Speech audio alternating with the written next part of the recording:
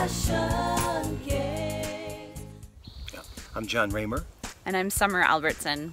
And we just recently launched the World Peace and Global Unity campaign on June 21st.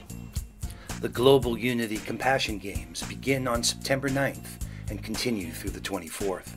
The campaign peaks on the International Day of Peace on Thursday, the 21st, and culminates with the World Peace Weekend. On Sunday, we will attempt to break the world record for the largest global synchronized meditation. There's this other featured way that is part of this whole experience that is a compassion relay. And so there is this there is a compassion torch that is passed to different champions of compassion.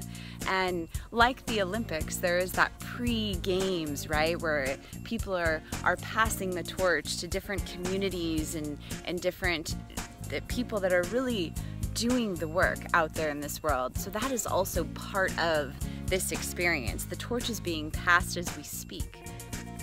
The campaign launched on June 21st, the solstice, with synchronized events taking place around the world. In Seattle, Hereditary Chief Phil Lane Jr. performed a sunrise ceremony at the Points of Light Service Unites conference. He passed the torch to Kaya George, granddaughter of Chief Dan George and representative of the seventh generation. In Hawaii, Chief Arvol Looking Horse honored World Peace Prayer and Sacred Sites Day, and in New York City at the UN and all over the world, recognized International Yoga Day, honoring our union and connection. Then on June 25th, it was the 50th anniversary of the first live global satellite TV production.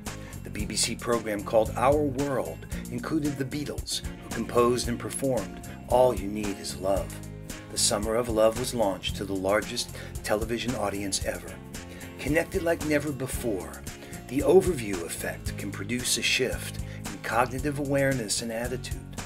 First reported on by the astronaut seeing Earth as a tiny fragile ball of life hanging in the void. Boundaries vanish, conflicts become a little less important. We recognize that we really are one human family.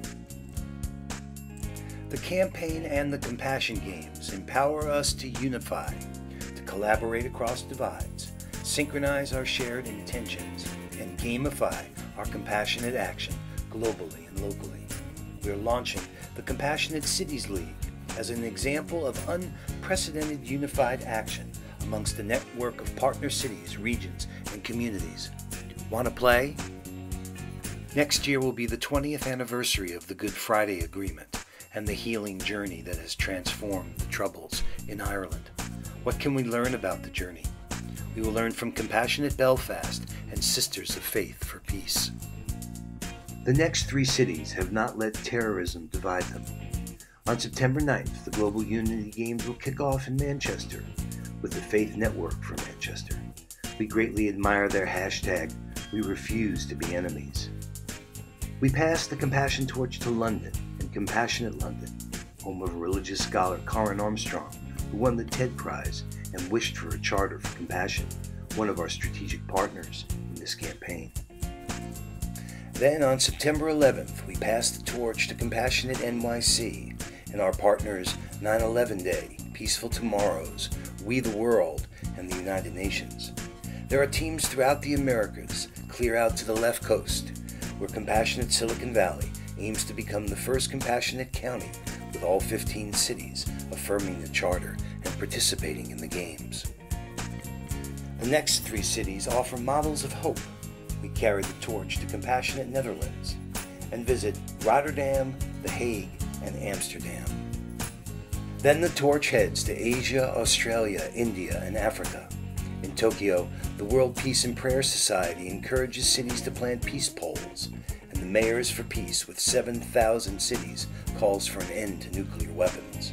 In Australia, the compassionate city Gold Coast participates in next year's Commonwealth Games and lays the groundwork for Australia, a continent of compassion, launching in September of 2020. Throughout India and Africa, the cooperation circles from the United Religions Initiative and chapters from Play for Peace will break new ground as they sign up and play in the games for the third year in a row. Then the torch heads to the Middle East and compassionate United Arab Emirates, and we recognize His Excellency Sheikh Abdallah bin Baya, the President of Promoting Peace in Muslim Societies. The torch heads to Bethlehem, then to Jerusalem, where we look to bring the light of compassion to one of the most challenging struggles on our planet at this time. That's the spirit of this is that we're in this together. And the more participation that happens in my community and in your community is good for all of us. And that's where really the spirit of building bridges really comes to play